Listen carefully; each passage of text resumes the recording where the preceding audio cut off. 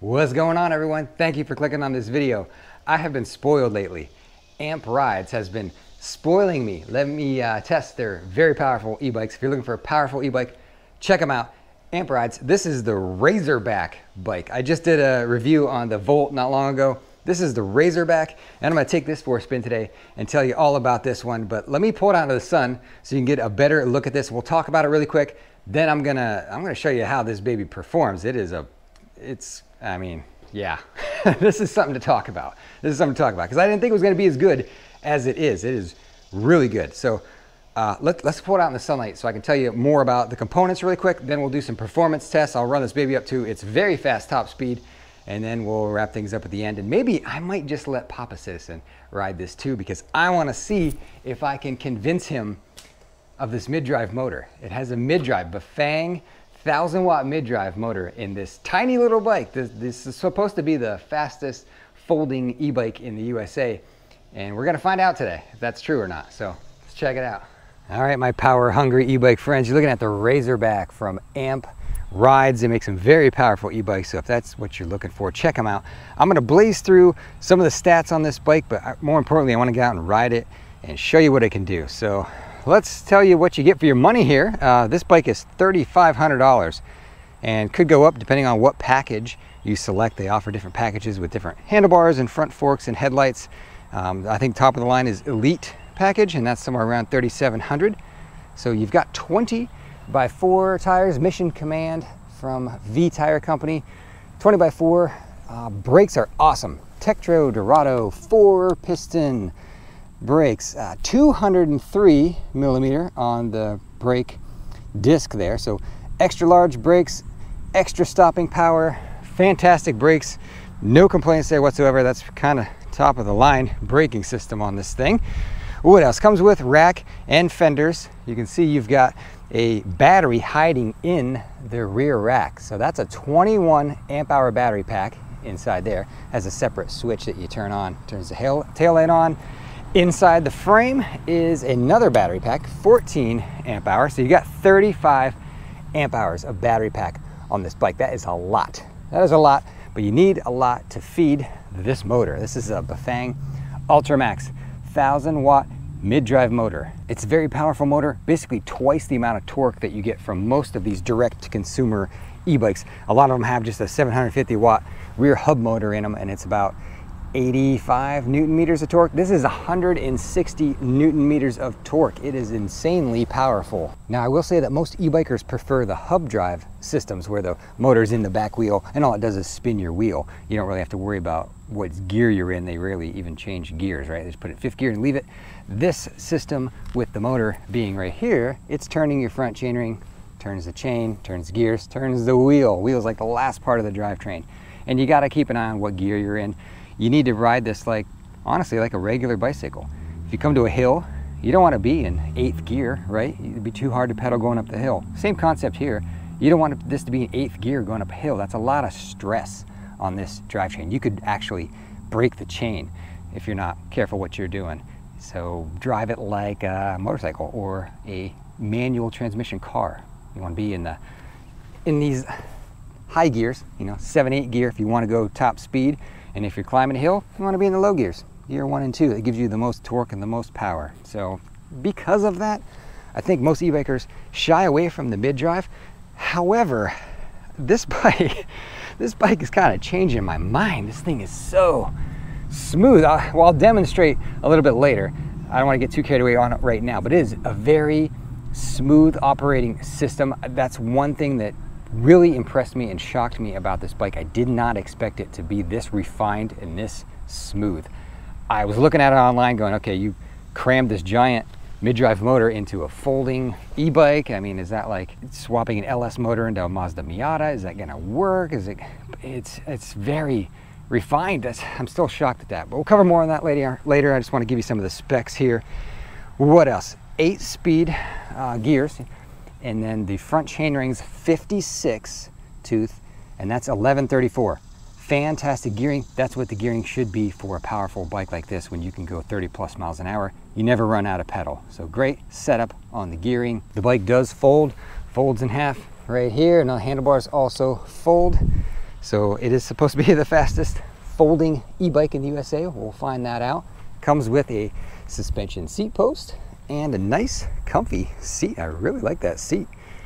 What else is going on on this bike? Uh, we talked about motor, tires, batteries, a lot of battery capacity on this. The paint job is crazy. It looks like a, reminds me when I was a kid catching rainbow trout. It just, it's got a rainbow effect in the sunlight. Very cool paint job. It looks like a shark and it does say shark on it right there too. On the handlebars, you got full color display. Probably won't be able to see it in the sunlight here, but I'll turn it on.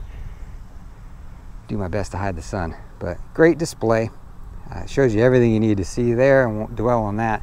Your button cluster here, it's got a left-hand thumb throttle, locking round rubber grips. That's good. You got your paddle shifters, eight gears to pick from there. I will mention that this bike is big, you know, 20 inch wheels, but still, it is not a kid's bike. This is a large bicycle. The minimum seat height is 37 inches, a touch over 37 inches from the ground to top of seat.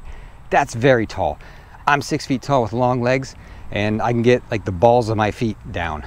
I can't even flat foot this thing with the seat the whole way down. You could eliminate a few inches by taking out the suspension post, but then you kind of lose that comfort.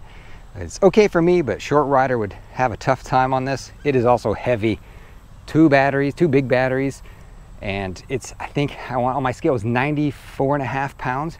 So it's not a light bike. Keep that in mind if you need something easy to carry around. This one's pretty heavy. Now I mentioned there's other packages.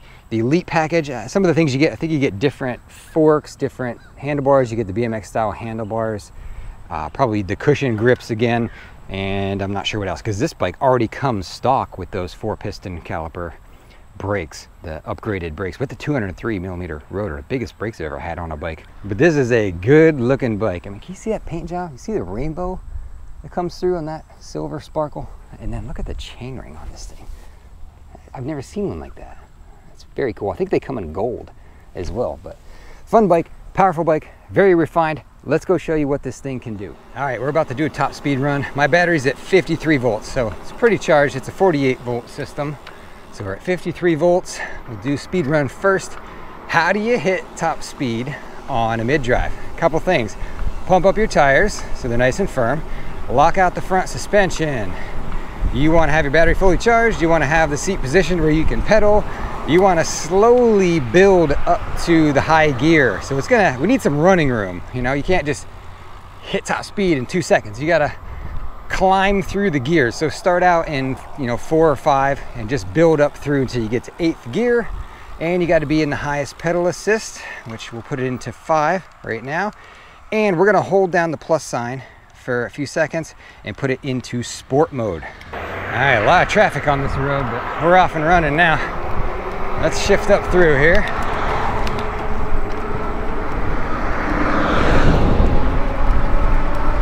We're in seventh gear. Let's get to eighth. All right. Let's give it full power.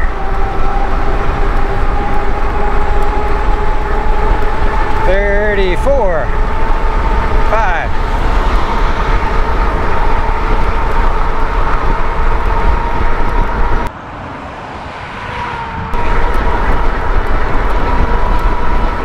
37.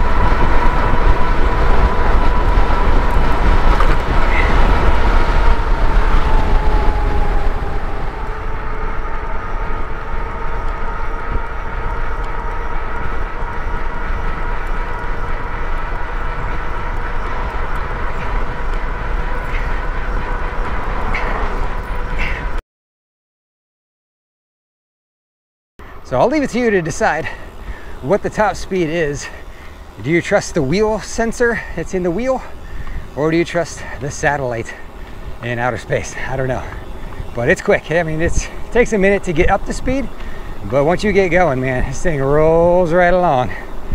Even with these big fat knobby tires on it. I mean, put street tires on it, it might even go faster. All right, had to stop in the shade for a second, take a break. It's like high 90s in North Carolina right now. So taking a breather, we're gonna head over towards the hills that I know of. We'll do some hill climbs with the bike and I'll show you that. And uh, as we ride over there, I'll, I'll, tell you more about what it's like riding this bike because there's some interesting things to point out that surprised me and are very good. So let's go do that. All right, I'll give you a quick taste of the throttle only speed on this. We're in like fifth gear. Let's uh, bump it up. Six. Bump it up to seven. We'll just do it in seventh. There's one more gear to go. But I mean, it cruises around effortless, 30 miles an hour. Got great, great throttle speed on this. Look at this. Not even in high gear. Can we get to high gear? Watch the curve here real quick. All right. But it takes, I mean, it takes a while to build up to it. But I mean, 30 mile an hour with ease. Here's a couple other things I noticed about this bike. I love riding standing up like this and the handlebars are nice and tall so I don't have to hunch over and lean over while I'm riding which is amazing and the handlebars are adjustable so they can go even taller if you need them to the handlebars are okay I mean they're plenty wide they give you good control I think this bike would be better with the BMX style bars that they offer in the Elite package though I think you'd have more control over the front end so these are good um, but I think it'd be better with the BMX personally, but that's personal preference there. But it's still, you know, still nimble. And I just, I love being able to do this and just stand up and ride. I ride like this a lot. I don't know if that's, if that's just me or if other people do that, but it's very, very comfortable to do this. The next thing that surprised me on this bike was the torque management system. It has that little sensor in it, so when you're shifting gears, uh, it cuts the power from the motor a split second to allow the gear to shift. Just easier on the drivetrain. I found this one to be pretty smooth. The other mid-drive I have, can get a little crunchy as you're uh, changing gears. You hear a crunching, popping noise where it just didn't time it correctly. This one's uh, pretty smooth. Seems to cut it at the right time. There wasn't a whole lot of crunchy popping every once in a while maybe, but I found the torque management system to be pretty smooth on this, which makes it a smoother ride. And uh, here's the most surprising part of this bike, and that is the torque sensor, right? 90% of these bikes that are direct to manufacturer, you know, direct to consumer from the manufacturer, they all have a cadence sensor, this little thing by the pedal that recognizes when the pedals are turning and it gives you power. But it just dumps all the power in at once. It doesn't modulate it at all. It's like, oh, the pedals are turning, boom, full power, and you end up taking off like crazy, right? This one's got a torque sensor, so it doesn't recognize that the pedals are turning, it recognizes how hard you're pushing. So you can be riding, let's take it down to low speed, right here. I'm gonna take pedal assist five. We're in the highest level pedal assist. Look how slow we can ride. And I'm turning the pedals right now. I'm not pushing on them. So it's saying, okay, it doesn't need power. Now if I push, it takes right off like crazy. So it recognizes how hard you're pushing. It makes you feel more connected to the bike. It feels more like a regular bike because the harder you push, the faster it goes and the more power it gives, right? So the torque sensor makes this feel very refined as well. And you, like I said, you just feel more connected to the experience of it, being that it's recognizing how hard you're pushing. So it makes you just feel like you have Superman legs, essentially. And everything you do and everything you input is, you know, multiplied by five. So great power delivery on this bike. Wow, I really like that about it, honestly. I, I've only had like one other torque sensor bike and it wasn't quite as powerful of a motor, so it wasn't as dramatic of a feel as this one. All right, let's do a quick hill climb. I've actually got it in fifth gear. Ideally, probably should be in a lower gear, but we'll see what happens in fifth. All right, taking right off. not timing it because time's kind of irrelevant. The mid-drives just are more known for the torque and, and when you need to climb a hill, kind of want a mid-drive power you can utilize the mechanical gears to give you an edge. But, you know, no problem. Just cruising right up this hill. Effortless.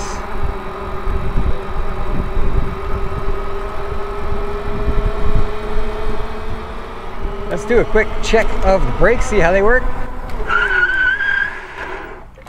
Wow, okay, yeah, strong. Lock up the wheel, no problem. Look at that Carolina sky. Carolina blue. That is, it doesn't even look real. Now this bike comes from Amp Rides with a suspension seat post, so it's a pretty cushy ride when you're going over a bumpy field like this. But we're gonna head over here, slow down, slow down. Okay, let's head over here. Let's slow down, get into, uh, let's just drop it all the way down. We're gonna go down into first gear. And I'm gonna do this short, steep little hill climb that we, we do with bikes that a lot of times they fail because they just don't have the power. This bike has got plenty of power to do this. This bike is, the Razorback is yawning right now saying, you want me to climb that? Okay, let's try it.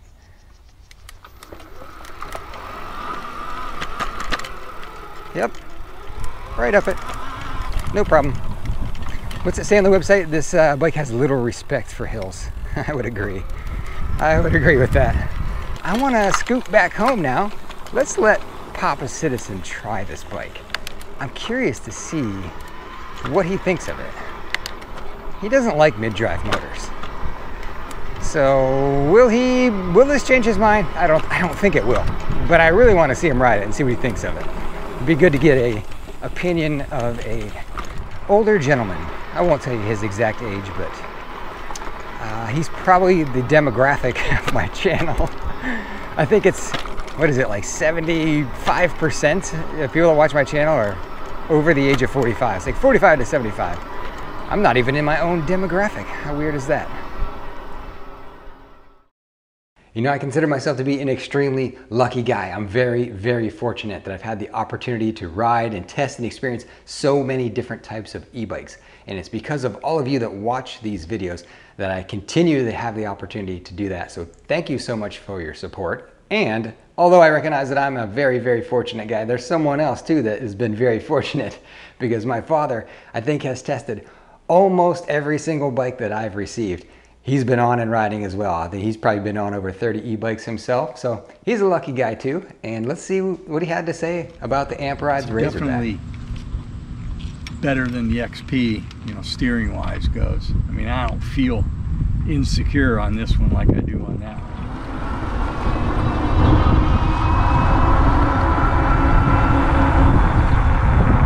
definitely goes. Yeah. I mean, when you hit that throttle, it it takes right off. I mean, I came up that hill, hit 20 mile an hour easily, quickly, quickly. Yeah, it's got some good power in it. Yeah. Figure out the shifting and you'll be fine, right? Yeah, I mean, that's right now as I ride the other bikes, it's like I said, I leave it in seventh gear and just change the pedal assist to what I want. Here I'm more trying to figure out which gear, which pedal assist, or what I want to do. And I think you just kind of need to pretend it's a regular bicycle. Probably. You know, and shift it as you would a normal bike. You're, yeah. I think if you just forget about everything else and just think of it as a regular bike and shift it as you would a regular bike, that that would probably solve all your probably confusion. but you know, when you're old like me, you get used to that pedal, thinking you got to do yeah. pedal. No, that's I think that's like 90% of e-bikers. They just put it in one gear and leave it and because it doesn't matter on the hub drive. No.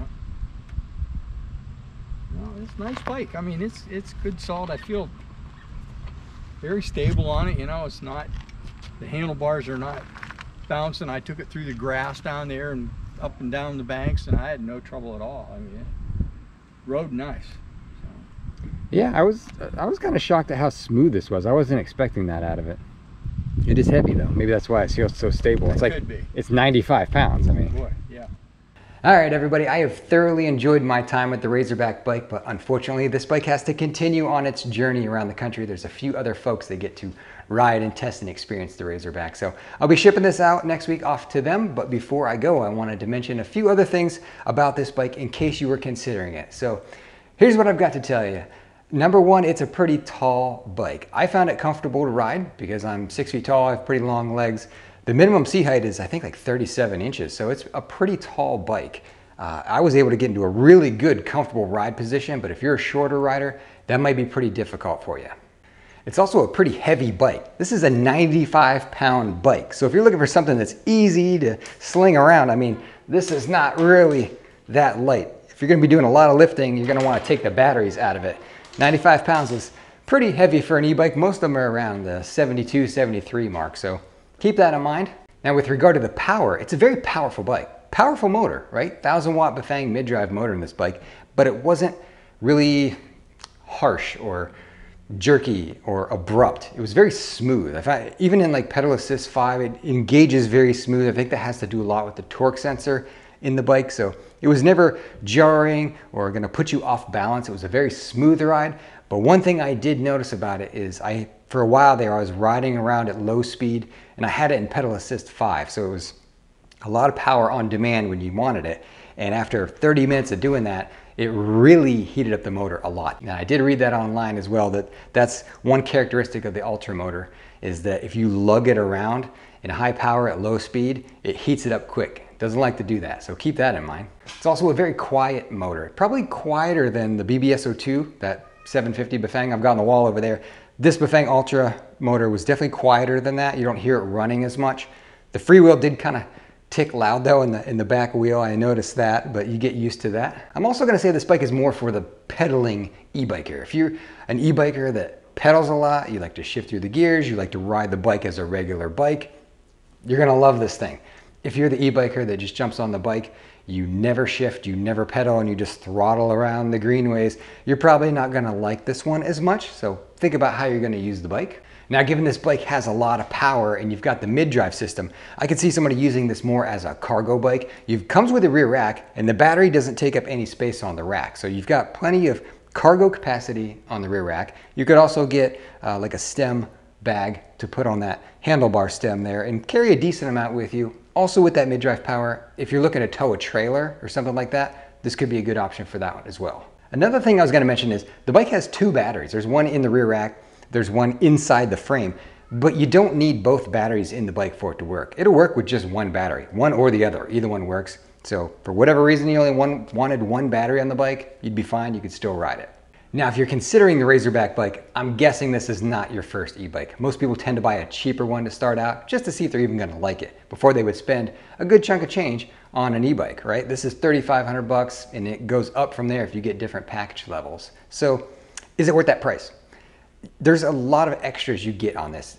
As a person that has upgraded many bikes, I've spent tons of money upgrading my custom bike. I've probably spent over $5,000 upgrading that bike.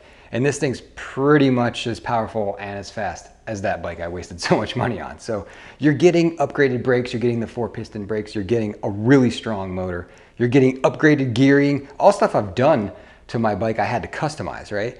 You're getting a decent screen, color screen on it. A lot of bikes don't have it. Better shifting mechanism with the paddle shifters. Crazy amount of battery capacity, more than mine has on it. And you get all of this right out the box. This You pull it out of the box and it goes 37 miles an hour and has 35 amp hours of battery pack on that thing. So that's why that price is where it is because you're getting a lot for that. But it's up to you to justify if that is a price that you can make peace with and if you want to consider the Razorback. So I'll leave that up to you if you think it's worth it.